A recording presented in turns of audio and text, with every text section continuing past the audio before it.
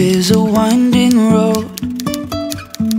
No telling where it goes. Hello my angels and welcome back to my channel. I've been doing so much spring cleaning lately. I feel like Scotty and I have turned your house quite literally right on its head.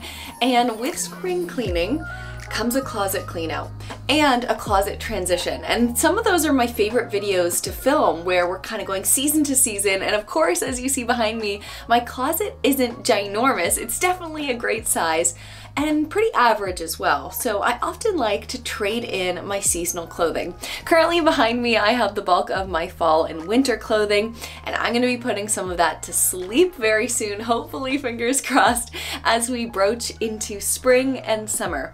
But with that being said, I wanna put my clothes away in their best sort. I want to put them away when they are clean, when they are ironed, when they are debobbled, and so today I wanted to dive into a topic that is currently near and dear to my heart, which is how I take care of my clothing. Now, most recently, moving into my 30s, I've noticed that I'm trying to shop smarter, right?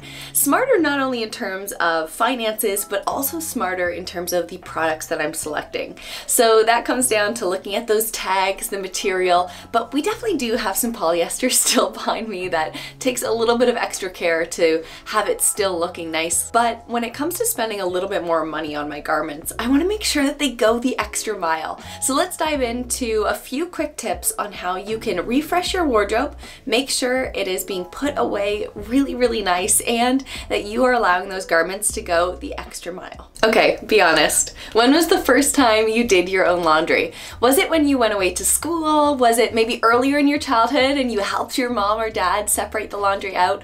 Or are you still kind of learning the ways on how to do your own laundry? Well, I maybe fall somewhere in the middle. When I went away to school, I was definitely on my own, learning a lot about how to care for myself and my things. But I gotta say, and I know my mom would leave this comment if I don't just come out and say it, I am rough on my clothes. I definitely am someone who has buttons fly off, sometimes gets holes in their clothes, and I don't know what it is. It's just me, I guess. So one of the first things that I always make sure that I do when I'm doing my laundry, this is the no-brainer, is separate it out. We don't want to be putting in some jeans with our new pair of white trousers because you know what? You're going to end up having a pair of jeans and a pair of light blue trousers by the time that that wash load is done. So separating your laundry is one of the very first steps in caring for your clothing. And keep in mind, this is for the clothing that actually goes in the wash.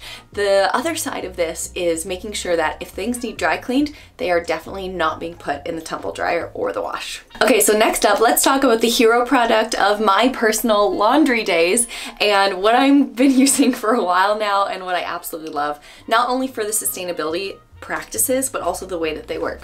So if you've never heard of them before, this is Tru Earth, and Tru Earth is an incredibly sustainable company, upping the ante when it comes to sustainability in laundry day. In this package, which is insane, is 32 loads of laundry. Look at that. How much space do those huge detergent bottles take up in your linen closet? Probably a ton. So not only are you gonna save so much space, you're gonna be doing good by the earth. So I've got fresh linen and I also have fragrance free. These are my new ones. The other ones that I use all the time are currently in the wash and I'm gonna be showing you some b-roll throughout this of me doing a wash and how little these are. So what's so amazing is 32, you take out a sheet and it's just half a sheet and you throw it in there with your wash and you are good to go. They also have an ultra concentrated section as well, Tru Earth, and a baby formula. So something that is like extremely gentle. So what is so fabulous about these sheets specifically, if you are someone like me who has sensitive skin, off the package here. Clean, green, simple. Phosphate-free, biodegradable, hypoallergenic, 1,4-dioxane free, which is often a lot of those irritants, especially with fragrance-free as well. Sometimes those fragrances cause a lot of irritants with our skin. So it depends on who you are out there, but I highly recommend checking these guys out. And from the perspective of your actual machine, my mom the other day had, they have Miele machines, and my mom had a Miele technician come over the other day, and he was saying to her, wow, you're doing such a good job taking care of these machines. And he said one of the biggest mistakes that people make when it comes to the care of their machines is they put in too much detergent. And sometimes I think we just think, oh, more is better, right? Well, in this case, it's not true because we don't need that extra detergent sitting in our clothes in the fabric because that's not necessarily good for your clothes. And it's really, really bad for the machines if you have too much detergent in there. So whatever detergent you choose to go with, again, I highly recommend Tru Earth because you can see how simple and small that detergent is still with really strong acting properties within it. But whatever detergent you use, just make sure that you're putting in the proper amount and you're not going a little bit too big for your britches in each load. I wanted to add a quick note about fabric softener specifically. So I don't use fabric softener often, but you definitely can, and I think it's just one of those things I haven't integrated into my routine. But fabric softener is a product that you don't want to use specifically on your athletic wear, and I'll tell you why. Fabric softener basically coats all of the little fibers within your clothes, makes them soft, makes them nice. But when it comes to activewear, activewear is specifically created to wick moisture away from your body. And fabric softener will kind of take away some of those properties in your activewear. So while you are washing, just make sure that if you are doing activewear, you are removing that step of using fabric softener. I also love to refer to clothing as a direct comparison to your hair, for example. So I remember Jonathan Van Ness saying, if you washed your t-shirt every single day, what would be the outcome? Well, of course it would get a little bit ratty, a little bit worn, and probably much thinner because you're just constantly pulling things out of that t-shirt. Yes, yes, yes, yes, yes, yes, yes, yes, yes, yes. It's the same for your hair, so that's why you don't want to wash your hair every single day. But this is something to keep in mind when you think about how many times something actually needs washed. And this is one of my favorite next tips. This is called the transition basket. So of course we have what's fresh and clean in our closet. We have our laundry basket that has our dirty clothes that definitely needs to go in the wash next. But then sometimes you're just wearing a pair of jeans. Well, jeans are just a whole nother thing. You just do not need to wash jeans as much as we do. But what if it's a t-shirt or a cardigan like I'm wearing right now? Of course, after one wear, you don't necessarily need to wash it, but if it's one of those scenarios where you're not really wanting to put it back with your clean clothes, I have what's called a transition basket.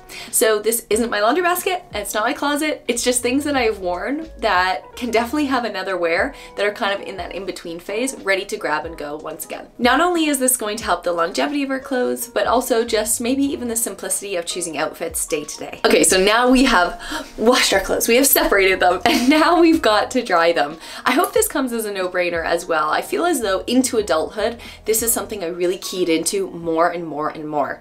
A lot of me and Scotty's clothes do not go in the dryer. Of course, there are some things that definitely go in the dryer with your towels in there, with your blankets in there, like socks and things like that but a lot of things we hang to dry. I'm pretty sure Scotty actually hang dries his socks as well. So this is something to keep in mind as well. By removing that step and getting a clothes horse like this one and hanging your clothes to dry, you are definitely doing them a service and keeping them really, really nice long term into the future. The dryer as well can be one of those mystery zones where you lose socks or you shrink your sweater by accident. I have most certainly fallen victim to many shrunken sweaters because of the dryer. Pro tip as well, in the summer, it is so incredible to set that clothes horse outside and allow some of that summer or spring air help to dry your clothes. Also, if you experience winter and fall and you can't put your clothes outside during that season, one thing that Scotty and I think really helps is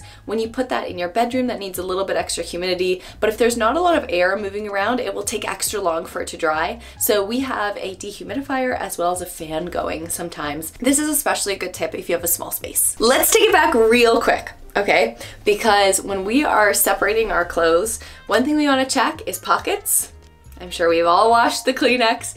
I have currently fallen victim recently to washing Rosie's doggy bags because they're just in every pocket of every jacket. We are very well prepared on that front. So let me know what you have washed down below in the comments. Have you ever washed your phone? Have you ever washed something that was important to you? For jeans and bras and things like that, to care for my clothes, I'll always do up the zippers.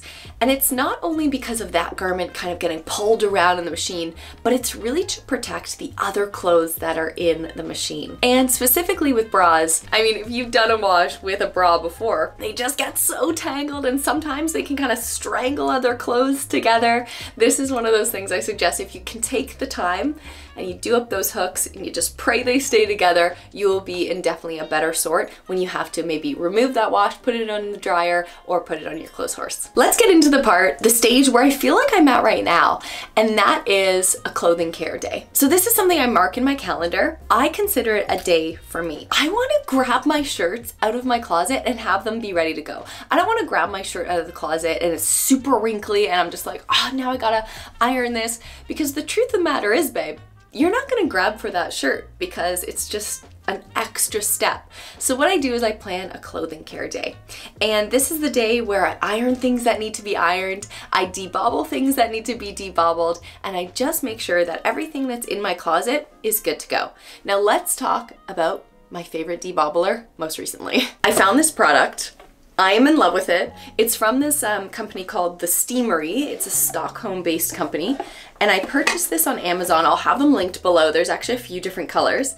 And on the bottom it says care for fashion, which we love to hear, especially in a video like this. And it's this little tiny, it comes with this little cap, but it's this little tiny egg guy. And what you do is you can charge it with a USB which is so easy. We've all got those around the house and it comes with one as well. And all you have to do is press that little button on the top and it will start shaving off those little bubbles. And I'm gonna include tons of footage here because there is one polyester sweater from H&M that I absolutely adore. And I've gotten so many compliments about the color and everything but it is polyester. And the fact of the matter is, it starts to look a little bit cruddy after a while if I don't take the steps to upkeep this sweater. Your sweater will look brand new. And on these days too, I basically just put on YouTube videos or blast music or a podcast and I'm just going to work and I'm just caring for my things. And the more that I find I spend time caring for my things, the less I have the urge to shop and the more I just kind of appreciate what I have. I also want to know on a clothing care day, I choose to steam. So whether it is ironing or steaming, there's definitely some products that work better with ironing, but I've seen in so many of these videos and comments, people say, oh my gosh, I burned so many things with the iron. It's a no-brainer if you can get a steamer. And this is the steamer that I have gotten and I've had for a couple years now. The reason why I got this one is because it's perfect for travel if I have to bring it with me.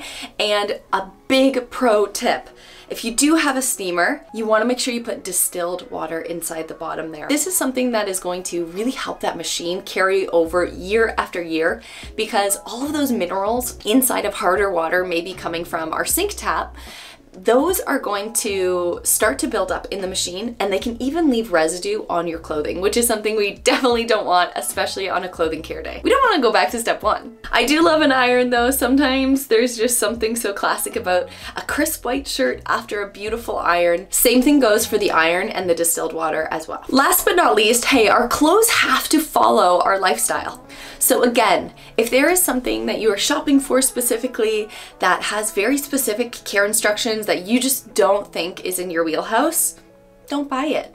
And that is where you continue to be a smarter consumer, a smarter shopper, and you're just gonna be building the wardrobe of your dreams. Buying something that's dry clean only or something that maybe needs a hand wash doesn't really put me off, but it has to be something I really, really love. And now moving in through my 30s, maybe having a little bit more flexible income when it comes to buying clothes, I'm definitely more mindful about the materials.